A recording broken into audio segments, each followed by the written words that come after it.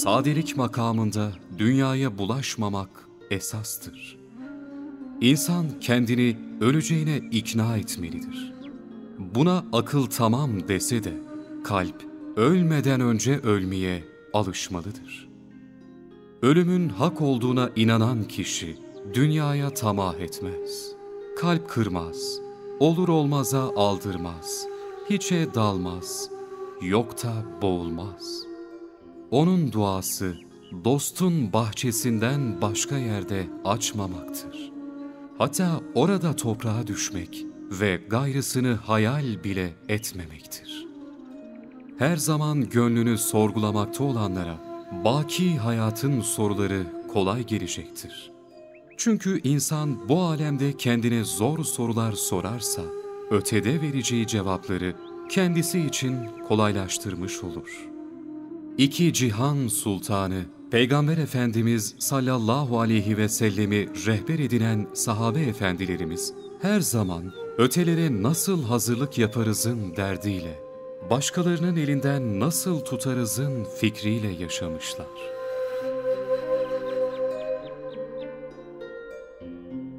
Saadet dolu günlerden biriydi. Müslümanların başında bulunan Hazreti Ömer radıyallahu an Mescidi Saadet'e girdi. Baktı ki Kabül Ahbar müminlere nasihat ediyor. Cenab-ı Ömer buyurdu ki, Ya Kab, bizi biraz heyecanlandır, korkut bizi. Hazreti Kab başladı gönülden çağlamaya. Allah'a yemin ederim, Allah'ın öyle melekleri vardır ki, yaratıldıkları günden bu yana hep ayakta dururlar. Hiç bellerini bükmemişlerdir. Bir başka melekleri de vardır ki, secdeye varmışlardır. Sura üfleninceye kadar da başlarını kaldırmayacaklardır. Onlar hep şu zikri yaparlar. Sübhansın Allah'ım, hamd sana mahsustur. Sana hakkıyla ibadet edemedik. Nefsimi kudretinde tutan Allah'a yemin ederim ki, kıyamet günü yaklaşıyor. Onun öyle bir gürültüsü ve can alıcı bir sesi vardır ki, tahmin bile edemezsiniz. O gün cehennem gelir ve öyle bir kükrer ki, onu duyan nebiler, sıddıklar, şehitler, Ya Rabbi der, senden hiçbir şey istemiyoruz. Sadece kendimizi istiyoruz.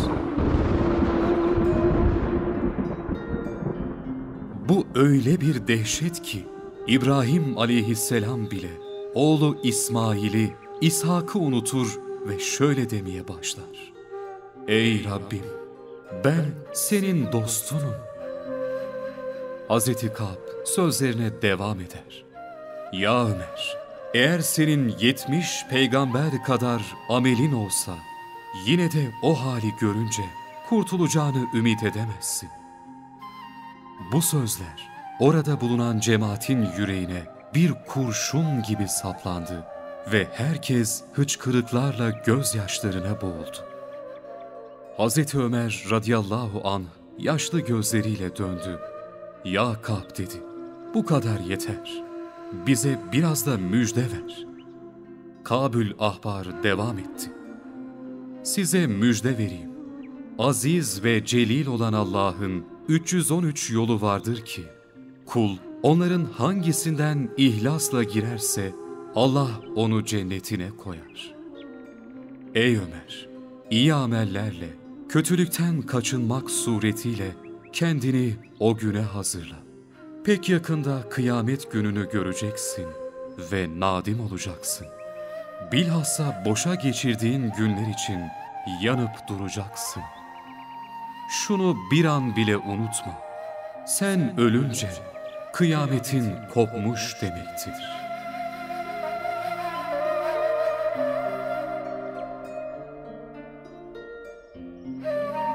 İman etmenin hakikatine ulaşmak lazım.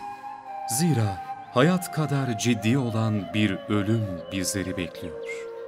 İlk nefesle başlayan bu fani ömrün bir de son nefesi var. Dünyaya veda, ahirete merhaba olan son bir nefes. Allahü Teala o son nefeste iman selametiyle can verenlerden kılsın bizleri.